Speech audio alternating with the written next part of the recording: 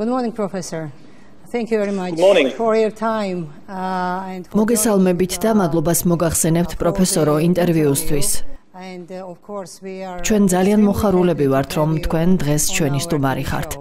Let me introduce you to the Georgian audience. ნება მომეცი წარგადგინოთ ქართველი მაყურებლის წინაშე. დღეს ჩვენი სტუმარია თანამედროვეობის ერთ-ერთი ყველაზე ბრწყინვალე მოაზროვნე და უდიდესი ინტელექტუალი, ავტორი საკულტო წიგნებისა „საპიენსი, კაცობრიობის მოკლე ისტორია“, „ჰომო დეუსი, მომავლის მოკლე ისტორია“ და 21 გაკვეთილი 21 საუკუნისთვის. and 21 lessons for the 21st century. Um, a person who can foresee ადამიანი, რომელიც განჭრეთს მომავალს და რომლის სტუმრობა ქართულ ტელესივრცეში ქართული მაყურებლისთვის განსაკუთრებით საქართველოს მომავალი თაობისთვის ისტორიული მოვლენაა. პროფესორი იუველ ნოა ჰარარი ჩვენ ამას აღვიქვამთ როგორც თქვენს მხარდაჭერას საქართველოს მომავალი თაობებისთვის. პროფესორ იუველ ნოა ჰარარი ჩვენი საუბარი დღეს შეეხება უკრაინაში მიმდინარე რუსეთის ომის შემდგომ სოფლიოს. ჩვენ ასევე გსურს თქვენი აზრის მოსმენა, განათლების ხელოვნური ინტელექტის მომავლის ადამიანის შესახებ.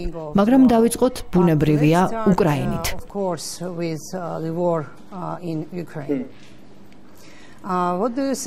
როგორ ფიქრობთ, რა არის უკრაინის ომის დასრულების ყველაზე საუკეთესო და ყველაზე უარესი სცენარები?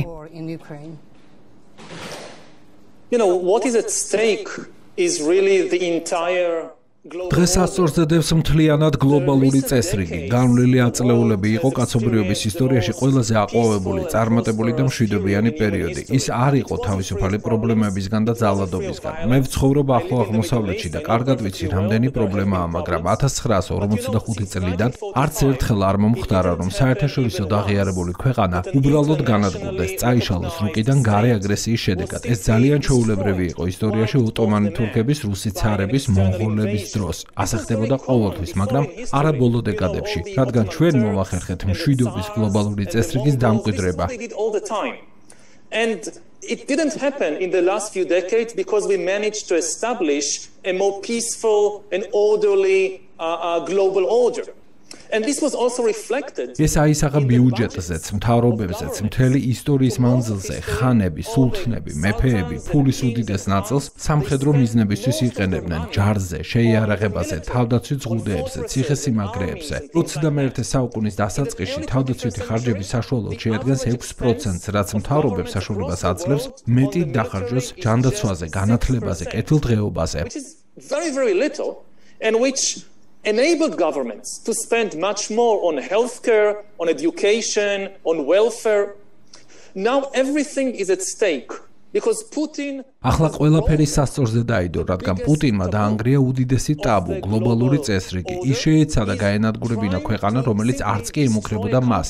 მას რომ შედეგისთვის მიეღწია ეს მთელ მსოფლიოში გამოიწვევდა დესტაბილიზაციას რადგან მთელი მსოფლიოს დიქტატორები უყურებენ რამდენად გაუვა მას ეს და ეს აგრეთვე გამოიწვევს თავდაცვის ბიუჯეტის ნახტომისებურ ზრდას მთელი მსოფლიოს მასშტაბით.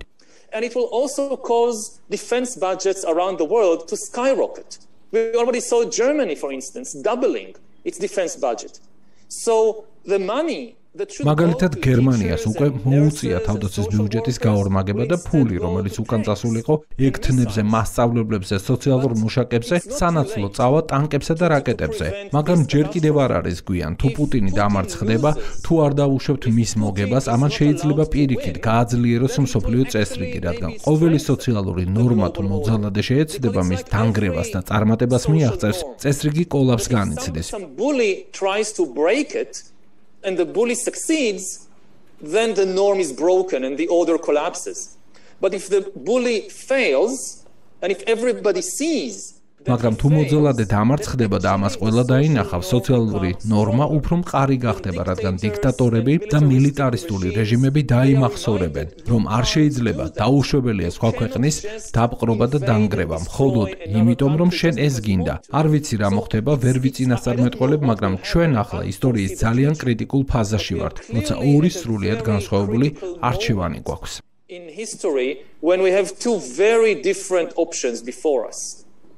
Yeah. And uh, let's speak about the, uh, the mistakes. მოდით ვისაუბროთ დასავლეთის შეცდომებზე. რა არის ის შეცდომები, რომლებიც დასავლეთმა აღარ უნდა დაუშვას იმ გაკვეთილის გათვალისწინებით, რაც მან უკრაინაში რუსეთის ბოლო შეჭრის შედეგად მიიღო? Russia's last invasion in Ukraine.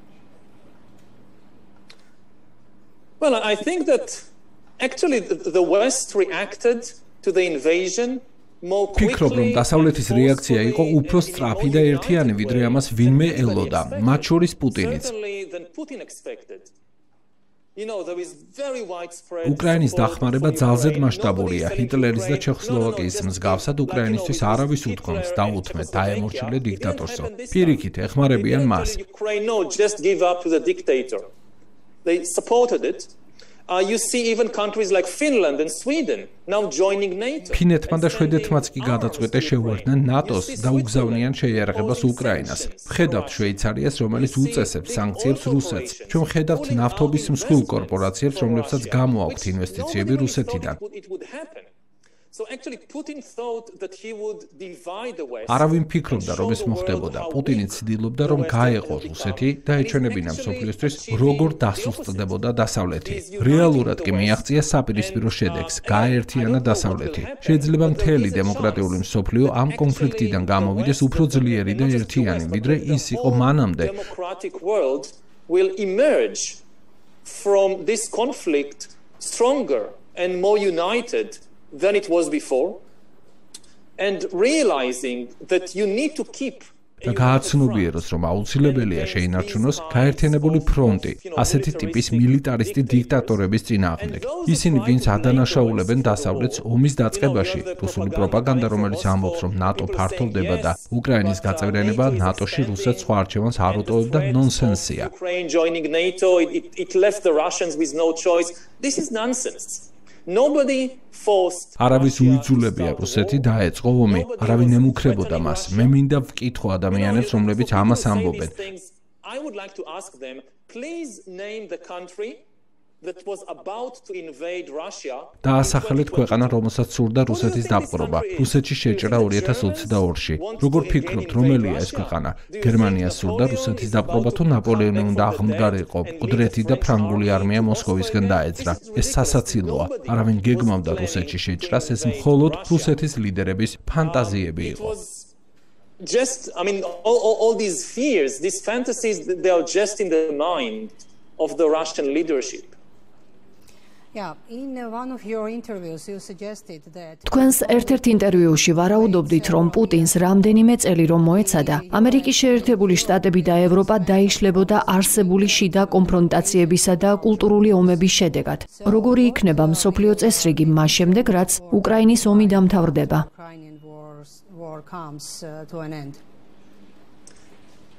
Yeah, I mean I I I I I think that if just if Putin just waited მე ვფიქრობ, რომ პუტინს რომ დაეცადა 5-10 წელი დასავლეთი დაიხლიჩებოდა კულტურული ომებისგან მემარცხენეებს და მემარჯვენეებს, ლიბერალებსა და კონსერვატორებს შორის. შეხედეთ რა ხდება ამერიკაში დემოკრატებსა და რესპუბლიკელებს შორის. ვხედავთ რა ხდება ევროკავშირში ბრექსიტითა და ურბანის მსგავსი ლიდერებით, რომლებიც კავშირის საბოტაჟს ცდილობენ შიგნიდან. პუტინს მხოლოდ უნდა დაეცადა და მას შეეძლო წარმატების მიღწევა. არ ვიცი, შეიძლება ის კუდება, შეიძლება მოუთმენელია, შეიძლება სწორად ვერ გათვალა, მაგრამ დასავლეთს But maybe he's dying, I don't know. Maybe he's too impatient. Maybe he just miscalculated. And now, again, I, don't, I can't prophesy the future, but the West has a chance to save itself. The most important thing is to end ყველაზე მნიშვნელოვანია რომ შეწყდეს კულტურული ომები დასავლეთის შიგნით, რადგან თუ დასავლეთი შეინარჩუნებს მთლიანობას, მას არავისი და აღარაფრის უნდა ეშინოდეს. რუსეთის ეკონომიკა იტალიის ეკონომიკაზე პატარაა. რომ აიღო და გააერთიანო ჰოლანდიის და ბელგიის ეკონომიკა მიიღებ რუსეთის ზომის ეკონომიკას. ომამდე მათი მთლიანი შიდა პროდუქტი შეადგენდა 1.5 ტრილიონ დოლარს, მაშინ როცა ევროკავშირის მთლიანი შიდა პროდუქტი ბრიტანეთისა და ამერიკის გარეშე შეადგენს დაახლოებით 15 ტრილიონ დოლარს. ასე რომ ყველაზე დიდი საფრთხე არის შიდა კულტურული ომი დასავლეთში. So the biggest danger is the internal culture war within the West.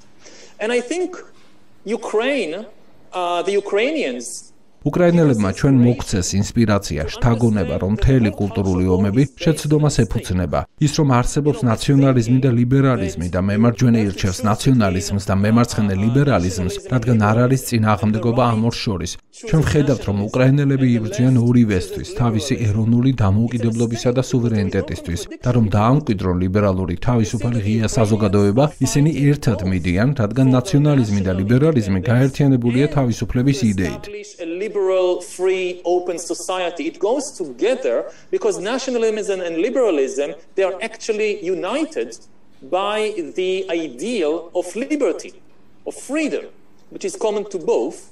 And similarly you had all these populist leaders. მსგავსად ამისა პოპულისტი ლიდერები ამბობენ რომ უნდა გავაკეთოთ არჩევანი ნაციონალიზმსა და გლობალიზმს შორის შენიერის ერთგულებასა და უცხოელებთან კოოპერაციას თანამშრომლობას შორის თითქოს წინააღმდეგობა იყოს მათ შორის. ასე არ არის. ნაციონალიზმი არ ითვალისწინებს უცხოელების სიძულვას. ის ნიშნავს შენი თანამემამულის სიყვარულს და ბევრ შემთხვევაში იმისათვის რომ იზრუნო შენს თანამემამულეზე. გჭირდება უცხოელებთან თანამშრომლობა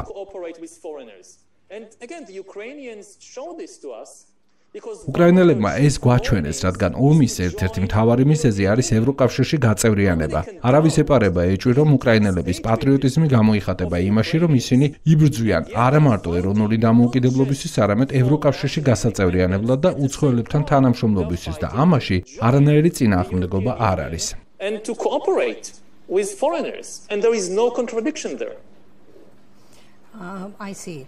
უკრაინის მაგალითით შეგვიძლია ვიმსჯელოთ, ვინ იყენებს უკეთ თანამედროვე საინფორმაციო ტექნოლოგიებს, საინფორმაციო ომის ტაქტიკებს. შეგვიძლია ვთქვათ, რომ უკრაინა იგებს საინფორმაციო ომს. თუ უნდა ვისაუბროთ ორ პარალელურად საინფორმაციო მოდელზე, საინფორმაციო ომის ტაქტიკაზე. თუ ეს ასეა, როგორია უკრაინისა და რუსეთის საინფორმაციო ომის, საინფორმაციო რეალობის გეოგრაფიული საზღვრები, ან რომელ ქვეყნებზე ვრცელდება მათი საინფორმაციო გავლენა?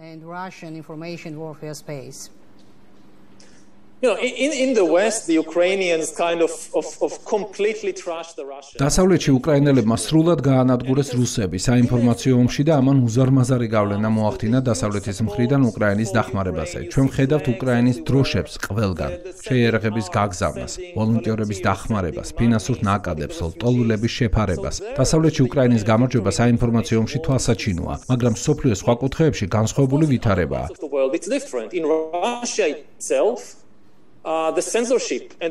თავად რუსეთში ცენზურა, პროპაგანდა, რუსი ხალხის უდიდეს ნაწილს საინფორმაციო ვაკუუმში ამყოფებს. იმის თაობაზე თუ რა ხდება რეალურად და ცდილობს გამოურეცხოს ტვინი იმ ნონსენსით, რომ ისინი ებრძვიან ნაცისტებს. სოფლიოს სხვა ადგილებში, ჩინეთში, ინდოეთში, ბრაზილიაში უფრო იგრძნობა საინფორმაციო კონკურენცია, მაგრამ როცა ჩვენ ვუყურებთ სოფლიოს უფრო დიდ სურათს, ყველაზე საინტერესოა სამკუთხედი: ჩინეთი, რუსეთი, ინდოეთი, რადგან რუსეთი დგას იმის საშიშოების წინაშე, რომ ჩინეთის თოჯი ჩინა გახდეს. of Russia and China and India. Because Russia is in danger of becoming a puppet of China. You know, with all the talk that Russia ყველა საუბარი რომ რუსეთს უნდა ეშინოდეს ნატოს თავდასხმის, ნატოს არ ქონია გეგმები რუსეთის დაპყრობის. რუსეთისთვის რეალური საფრთხე აღმოსავლეთიდან მოდის. ურალის მთების აღმოსავლეთით რუსეთის უზარმაზარი ტერიტორიები 30-40 მილიონი მოსახლით და უთვალავი ტერიტორიული რესურსებით. and immense territory and resources და აქ არის სივრცეები, რომლებიც ძალიან მნიშვნელოვანია ჩინეთისთვის და აწლეულებით წინ თუ გავიხედავთ, რუსეთი გახდება ჩინეთის მარიონეტი. The biggest danger looking decades ahead for Russia is that it will actually become a puppet state of China. And similarly with regard to India, იგივეა ინდოეთთან დაკავშირებით. ინდოეთი და რუსეთი ძალიან ახლოს ურთიერთობები ჰქონდათ აწლეულობის განმავლობაში. ინდოეთი ყველაზე დიდი რაოდენობით რუსული შეერაღებით მარაგდებოდა, მაგრამ თუ რუსეთი ჩინეთის მარიონეტი გახდება, მაშინ ინდოეთი გაწყვეტს მასთან თანამშრომლობას და მეტად დაუახლოვდება დასავლეთს, რადგან ინდოეთს ყველაზე მეტად ჩინეთთან ომის ეშინია. და თუ ის შეერაღებას რუსეთიდან იღებს, ხოლო რუსეთი ჩინეთის მარიონეტი იქნება, ინდოეთი ვეღარ ენდობა რუსეთს. So I think that even in ფიქრობ რომ უფრო ფართოდ მსოფლიოში არამხოლოდ საინფორმაციო ომში, არამედ პირდაპირ სამხედრო დაპირისპირებაშიც ეს სრულად შეცვლის ძალთა ბალანს მსოფლიოში. Yeah. As we started talking about the information warfare in China, რადგან ჩვენ დავიწყეთ საუბარი საინფორმაციო ომსა და ჩინეთზე, მოდით შევეხოთ ხელოვნური ინტელექტისა და თანამედროვე ტექნოლოგიების თემას მომავალ მსოფლიოში. როგორც თქვენ თქვით, ვინ საკონტროლებს ინფორმაციას, მონაცემებს ის აკონტროლებს სამყაროს. და ორ უდიდეს ქვეყანას, ჩინეთსა და ამერიკას. გაცილებით მეტი შესაძლებლობები აქვს ჩიაგროვონ მონაცემები ვიდრე ნებისმიერ სხვა ქვეყანას. შეგვიძლია ვივარაუდოთ, რომ მომავალში მსოფლიოს ქვეყნები გადანაწილდებიან, გაერთიანდებიან ამ ორი ღერძის, ამერიკის შეერთებულ შტატებსა და ჩინეთის გარშემო და მათ შორის ბალანსი შექმნის მომავალ უსაფრთხოების არქიტექტურას. სხვა სიტყვებით რომ ვთქვათ, გვექნება მომავალში ქვეყნების ორი ბლოკი, რომელთაგან ერთი ეცდება მის ხელთ არსებული ინფორმაცია ადამიანთა უპრეცედენტო კონტროლისთვის გამოიყენოს, მაშინ როცა მეორე უფრო ჰუმანურ ადამიანზე ორიენტირებულ მიდგომას აირჩევს.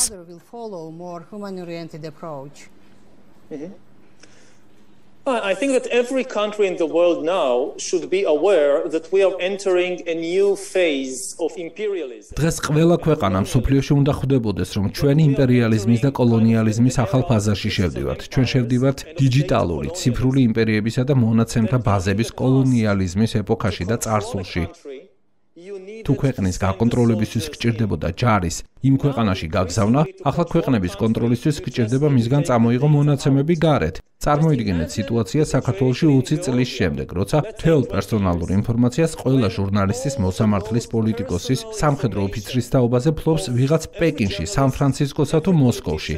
Every judge, every military officer, all the information about them is held by somebody in Beijing or in San Francisco or maybe in Moscow.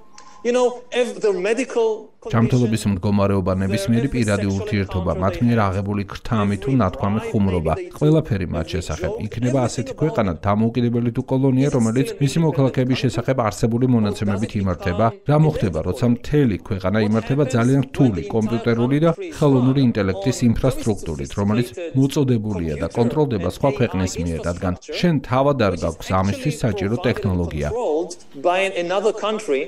because you don't have the technology yourself to do it. And this becomes a new kind of empire.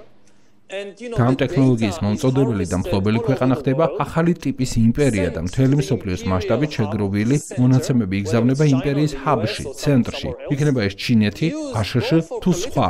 და გამოიყენება როგორც პოლიტიკური, ასევე ეკონომიკური კონტროლისთვის, რადგან სულ უფრო მეტ ინდუსტრიებში დღეს ყველაზე მნიშვნელოვანი აქტივები არის მონაცემთა ბაზები.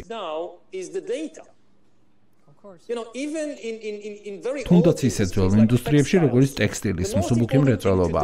თანამედროვე ტექსტილის მრეწველობისთვის ყველაზე მნიშვნელოვანი აქტივი ბამბა და ქარხანა კი არ არის, არამედ ინფორმაცია იმის თაობაზე, რა მოსწონს და არა მომხმარებელს. ანუ ინფორმაცია ტრენდების შესახებ. როცა მთელი მონაცემები თავს მოიყრეს მსხვილი კორპორაციების ხელში, როგორიცაა Amazon-ი, Alibaba, ისინი გააკონტროლებენ ეკონომიკას შორეულ ქვეყნებშიც კი. ეს ახლა ის საფრთხეა, რომლის საქმის კურსიც უნდა იყვნენ ქვეყნები. ამჟამად მხოლოდ ორი ქვეყანაა, რომელიც ლიდერობს რბოლას ხელოვნურ ინტელექტსა და მონაცემთა შეგროვებაში და ისინი სოფლიოს ერთმანეთში იყოფენ. At present there are just two countries who are leading the race in in AI and data harvesting. This is China and the US. They are dividing the world between them. ცივიომის დროს ჩვენ გვქონდა რკინის ფარდა, ახლა გვაქვს სილიკონის ფარდა. სოფლის რომელი ქვეყანა, რომელ მხარეს აღმოჩნდება ამერიკულ მხარეს და იყენებ Google-ს და Amazon-ს თუ ჩინეთის მხარეს ხარ და იყენებ Alibaba-ს და Baidu-ს. ეს კიდევ მეტად დაყოფს სოფლიოს და ვიმედოვნებ, რომ პატარა ქვეყნები ერთმანეთთან კოოპერაციით, რაც შეიძლება სწრაფად, ჭკვიანური ბრძნული პოლიტიკის იმპლემენტაციით that smaller countries by cooperating between them and by implementing wise policies რეალიზაციით შეძლებენ რომ თავი დააღწიონ ამ იმპერიული გიგანტების სრულ კონტროლს და შექმნან მეტნაკლებად დაბალანსებული სამყარო. მაგრამ ჩვენ არ გვაქვს დიდი დრო ამისთვის რადგან ეს პროცესები ძალიან სწრაფად ვითარდება. but we don't have much time to do it. I mean it's moving so quickly აშკარაა, რომ ხელოვნური ინტელექტისგან, მომავალი საფრთხეებისგან ადამიანთა დასაცავად ახალი უფლებათა ქარტიის აუცილებლობა ჩნდება, რომელიც დაიცავს ადამიანთა მოდგმას თანამედროვე ტექნოლოგიების მავნე მხარისგან. როგორი უნდა იყოს ადამიანის უფლებათა ახალი ქარტია, რომ მან ამ მისიის შესრულება შეძლოს? Hmm.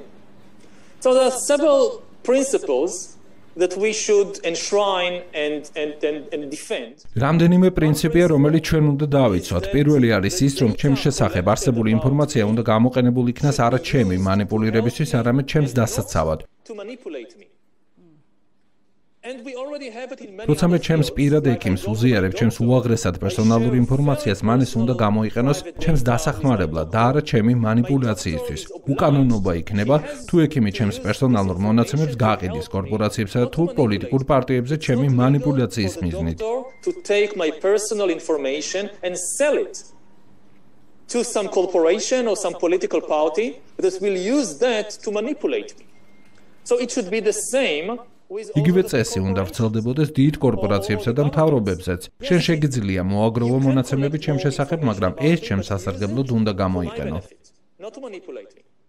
The second principle მეორე პრინციპია არასოდეს დაუშვა ყველა მონაცემის ერთხელში მოხვედრა. ეს იქნება კორპორაცია მაგალითად ამაზონი თუ ხელისუფლება. იმიტომ რომ ეს არის გზა ტოტალიტარული დიქტატურისკენ. ის ვინც ყველაფერი იცის ყველა შესახებ ის აბსოლუტური დიქტატორია. Somebody who knows everything about everybody that's the ultimate dictator. So it should be separated ამიტომ მონაცემთა ბაზები დაყოფილი უნდა იყოს. ჩვენ უნდა გვქონდეს რამდენიმე ურთიერთდამაბალანსებელი სააგენტო თუ ინსტიტუტი, მაგალითად ჯანდაცვის სფეროს ხელმძღვანელებმა, რომლებიც აგროვებენ ინფორმაციას, მაგალითად იმისთვის, რომ შეაჩერონ ეპიდემია, არ უნდა გაუზიარონ ეს მონაცემები პოლიციას ან ჩემს დამსაქმებელს. ისინი განცალკევებულნი უნდა დარჩნენ. მესამე პრინციპი კი შემდეგია: რაც უფრო მეტად ზრდი, თვალთვალს ინდივიდზე, იმავდროულად უნდა გააძლიერო დაკვირვება დიდ კორპორაციებსა და მთავრობებზე. ანუ პროცესი უნდა მედიოდეს არა მხოლოდ ქვემოდან ზემოთ, არამედ ზემოდან ქვემოთაც. მათ გაცილებით მეტი იციან ჩემზე, მაშინ როცა მე მათზე ბევრი არაფერი ვიცი და ეს საფრთხის შემცველია. But I don't know much about them. Again, this is dangerous. This is the road to totalitarian ეს არის გზა ტოტალიტარიზმისა და დიქტატურისკენ, მაგრამ როცა ეს დაბალანსებულია, მაშინ დიდმა კორპორაციებმა ყველაფერი იციან ჩემ შესახებ, რადგან 21 საუკუნეში სხვაგვარა წარმოუდგენელია, მაგრამ ამავდროულად მეც ვიცი მათ შესახებ, მაგალითად როგორი იხდიან გადასახადებს, როგორია მათი პოლიტიკა და ურთიერთობები ხელისუფლებასთან. ამ შემთხვევაში გვექნება ბალანსი და ამის გაკეთება შესაძლებელია. ის ტექნოლოგიები, რომელიც ჩემი მონიტორინგისთვის გამოიყენება, უნდა გამოვნახოთ საშუალებები, რომ იმავე ტექნოლოგიებით მოვახდინოთ დიდი კორპორაციები კორპორაციებისა და თავრობების მონიტორინგი. to monitor the big corporations and also the governments. რადგან ჩვენი საუბარი შეეხო დიდ კორპორაციებს, როგორ ფიქრობთ, რა განსხვავებაა მარკ ცუკერბერგისა და ილონ მასკის მიდგომებს შორის ხელოვნური ინტელექტის გამოყენების მიზნებისა და არეალის თაობაზე და ვისი მიდგომაა უფრო ადამიანის ინტერესებზე ორიენტირებული?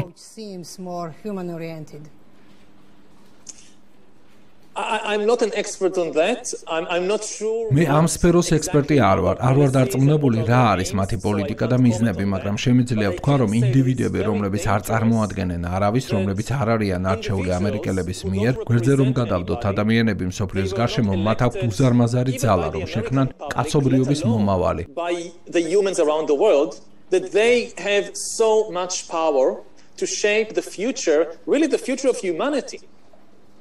ვინ მისცა მათ ეს ძალაუფლება? საიდან მოვიდა? ხელოვნურ ინტელექტს ნამდვილად აქვს ძალა შეცვალოს სიცოცხლის ევოლუციის კურსი, მიმართულება დედამიწაზე. ეს წარმოუდგენელი ძალაა. ევოლუციის მილიონობით წლის განმავლობაში სიცოცხლე იყო ორგანული. შეხედეთ ჩვენს თავს, ადამიანებს, ძაღლებს, მცენარეებს, ბანანს ან პომიდორს.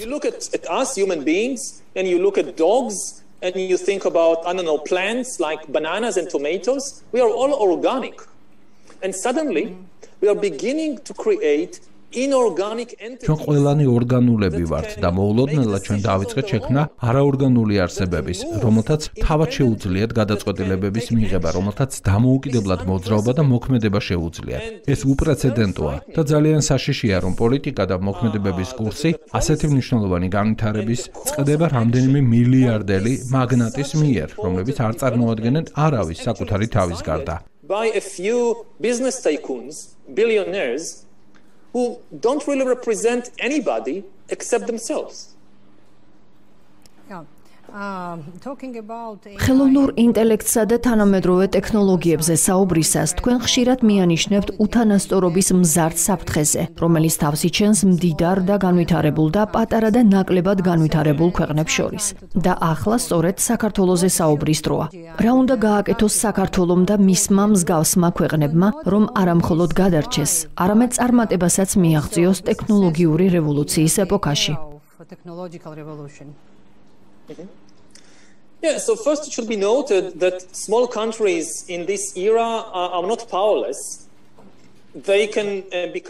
უნდა აღენიშნოს, რომ ახალ ეპოქაში პატარა ქვეყნები უსუსურები არ არიან. შეხედეთ ჩემს ქვეყანას, ისრაელს, შეხედეთ ესტონეთს მაგალითად. მათ დიდ წარმატებებს მიაღწიეს, მაგრამ გასაღები არის სხვადასხვა ქვეყნების კოოპერაცია. მაგალითად, თუ თქვენ ადარებთ საქართველოს ან ესტონეთს, ამერიკასა და ჩინეთს, რა თქმა უნდა, ბალანსზე საუბარი ვერ იქნება, მაგრამ თუ ყველა ევროპული ქვეყანა ერთად იმუშავებს არამხოლოდ რეგულაციებთან მიმართებაში, საერთო პოლიტიკის გატარების კუთხით, მაგალითად, კონფიდენციალურობის დაცვის თაობაზე, არამედ გადაწყვეტს ხელოვნური ინტელექტი ინტელექტის ინდუსტრიის ერთობლივ მშენებლობას, რომელიც კონკურენციას გაუწევს ჩინეთსა და ამერიკას, განსხვავებული პრინციპების მიღების კუთხით, ეს უკვე შექმნის რეალურ ბალანსს და გააჩენს გენერალური კურსის ცვლილების შანსს ამ ტექნოლოგიების განვითარებაში.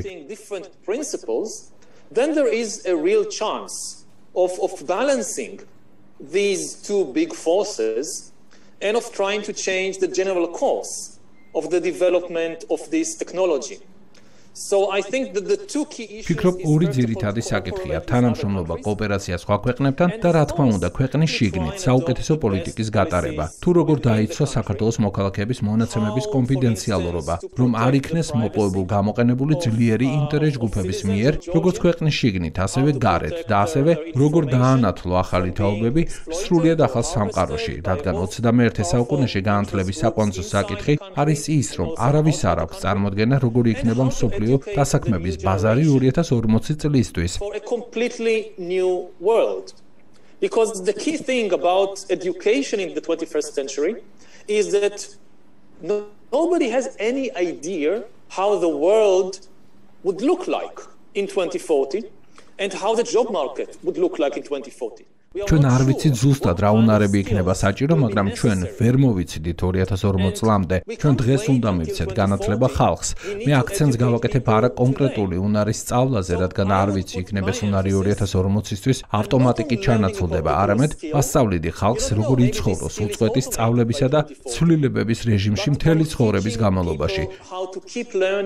how to keep changing, how to keep an open mind throughout their lives ისევ და ისევ ხელახლა აღმოაჩინონ საკუთარი თავი, რაც საკმაოდ სტრესულია, ფსიქოლოგიურად საკმაოდ რთული. მე ხაზ გავუსვამდი მოქნილი ღია გონების აზროვნების საჭიროებას ადრეული ასაკიდან, რათა გავუმკლავდე მოერგო ახალი სამყაროს თანამედროვე უსწრაფეს ცვლილებებს. to cope with this new world of extremely rapid change. Uh, და ისევ, რა იქნება თქვენი ყველაზე ღირებული რჩევა ქართველი ახალგაზრდებისადმი? რა უნდა გააკეთონ მათ, რომ იყვნენ კონკურენტულები განათლების და შრომის გლობალურ ბაზარზე?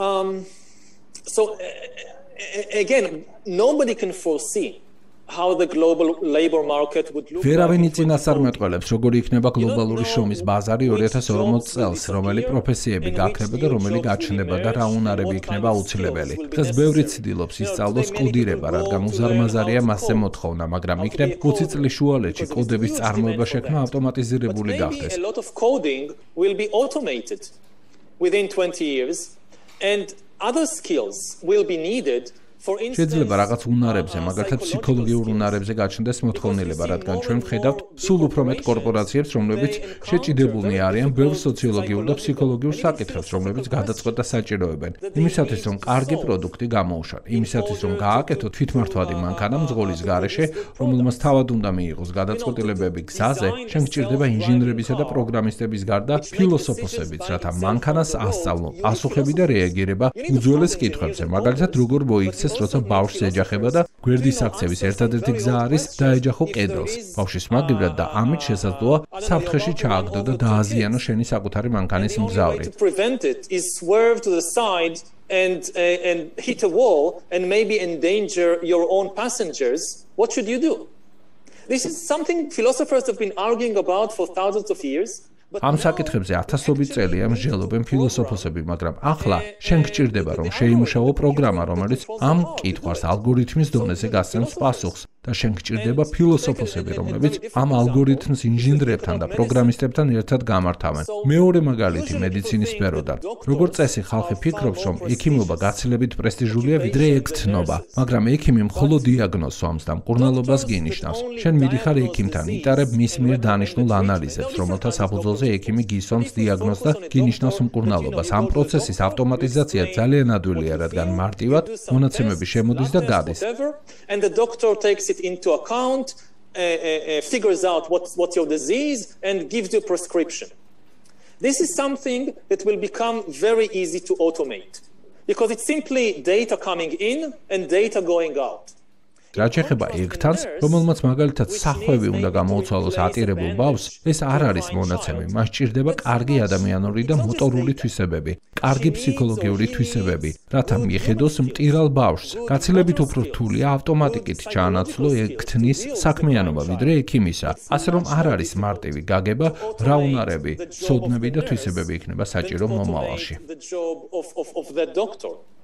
So trying to understand what kind of skills will be important, it's not straightforward. Uh, uh,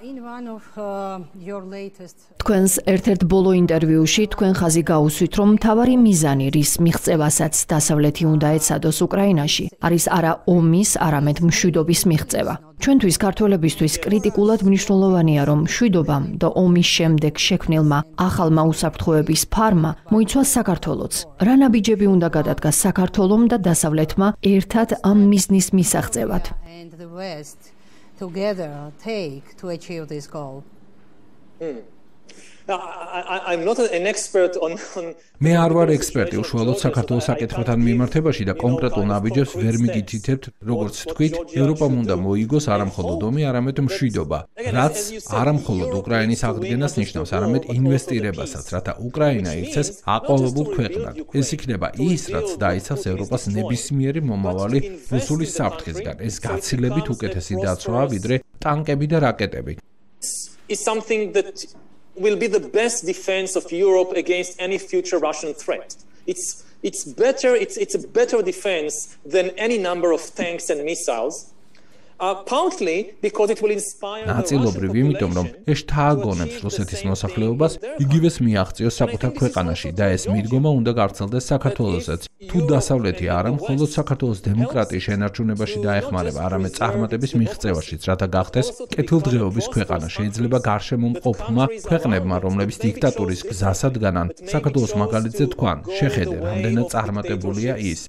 They see look how prosperous they are this is kind of the best defense policy um because ეს ერთგვარად საუკეთესო თავდაცვის საშუალებაა, რადგან მეზობელ ქვეყნებს დემოკრატიისკენ წაახალისებს, რადგან დემოკრატიებში ფული საკუთარი მოქალაქეების ჯანდაცვასა და განათლებაში იდება, როცა დიქტატორი ფულს დებს საიდუმლო პოლიციაში, ტანკებისა და რაკეტების წარმოებაში. that invests the money in uh, his secret police and building tanks and missiles and, and things like that. Um, so a lot depends really on the the, the result of რა თქმა უნდა, ბევრი რამეა დამოკიდებული მიმდინარე ომის შედეგებზე. და ასევე დიდი შესაძლებლობებიც არის აქ, რადგან რუსეთი გაცილებით სუსტია ვიდრე იყო ომამდე და ხალხი მიხვდა, რომ ის გაცილებით სუსტი ქვეყანაა ვიდრე წარმოედგინათ. ასე რომ სწორი მიდგომის შემთხვევაში არის შანსი, რომ ომის მოგების შემდეგ მოიგოთ მშვიდობაც. There is a good chance to not just win the war, but more importantly, to win the peace afterwards.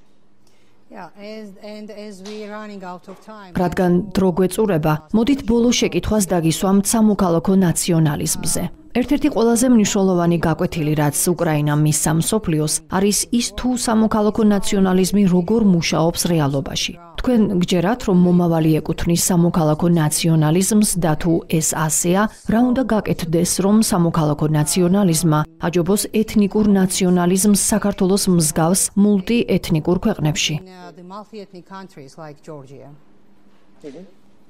I think the key message that be repeated again and again თავარი მესიჯი, რომელიც უნდა ვიმეოროთ, არის ის, რომ ნაციონალიზმი არ არის სიძულვილი, ის სიყვარულია. ნაციონალიზმი არ არის უცხოელების ან უმცირესობების სიძულვილი. ნაციონალიზმი არის შენი თანამოქალაქეების სიყვარული და ომის დროს შენს პატრიოტიზმს აჩვენებ შენი ქვეყნისთვის ბრძოლით ან სამხედროებზე ზრუნვით, მაგრამ უმეტესწილად საბედნიეროდ. ჩვენ არ ვართ ომში ჩართულები და შენი პატრიოტიზმის სამოქალაქო ნაციონალიზმის დამტკიცება ყოველდღიურ ცხოვრებაში ხდება. So, the way, for instance, to prove your patriotism, your civic nationalism, uh, most of the time, is, for instance, to pay your taxes honestly. მაგალითად გადასახადების გადახდით შენი მოვალეობების პატიოსნად შესრულებით რადგან არიან პოპულისტი ლიდერები რომლებიც ამბობენ რომ ის პატრიოტია რადგან ზულს უმცირესობები. ეს არ არის პატრიოტიზმი ეს უბრალოდ სიძულვილია რა არის გადასახადები კარ ქვეყანაში? მე ვიხდი ჩემს გადასახადებს და ვიღაც ვინც არ იხდის ჩემი ოჯახის წევრი ან ჩემი მეგობარი მაგრამ ჩემი ერის წარმომადგენელია. მას ექნება კარგი ჯანდაცვა და ანალოგიურად თუ მე მინისტრი ვარ და შესრულებული მაქვს გზების აგების დიდი კონტრაქტი და მას ჩემს ბიძაშვილს მივცემ, რომელსაც ცუდი შემოთავაზება აქვს, ან მივცემ მას შესაძლებლად უცხო ადამიანს უკეთესი პროექტით, რადგან ეს ემსახურება საზოგადოების ინტერესს და არა ჩემი ოჯახის ან მეგობრების. Or I can give it to a stranger, he's not my cousin, but he gives a better offer. Patriotism means i give თუ ჩვენ გვემახსოვრება რომ ეს არის პატრიოტიზმი და არა სიძულვილი ფიქრობ რომ ჩვენ სწორ გზას დავადგებით და ვადგავართ so if we remember that this is what patriotism means and not hatred i think we are on the right way დიდი მადლობა პროფესორო თქვენი ძალიან საინტერესო და მნიშვნელოვანი ინტერვიუსთვის. იმედს ვიტოვებთ, რომ მომავალშიც გვექნება თქვენთან ინტერვიუს ჩაწერის საშუალება და პატივი იქნება თქვენი ხილვა საქართველოში. I will be happy to. Thank you.